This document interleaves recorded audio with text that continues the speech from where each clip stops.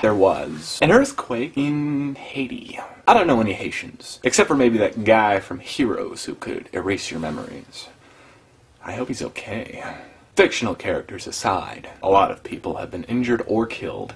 I heard on a radio station that uh, people speculate the body count could reach at least half a million. That's a lot of people, and everybody seems to care. Uh, humanitarian groups are popping out all over the place to lend a helping hand. Isn't that wonderful? That make you feel good to be a part of something big?